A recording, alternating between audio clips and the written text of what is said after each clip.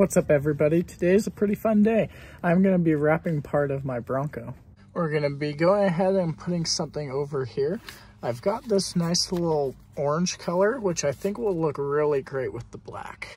But I also think it'd be really nice orange with this type of blue that I have. So let's go ahead and get this installed. Okay, so this is to be the tricky part. I have to make sure to line this up. Let's peel this off.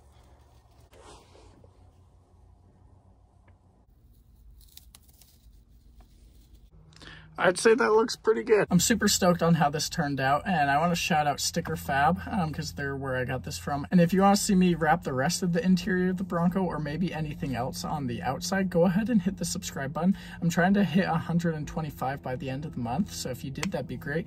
And let me know down in the comments below how you think this looks.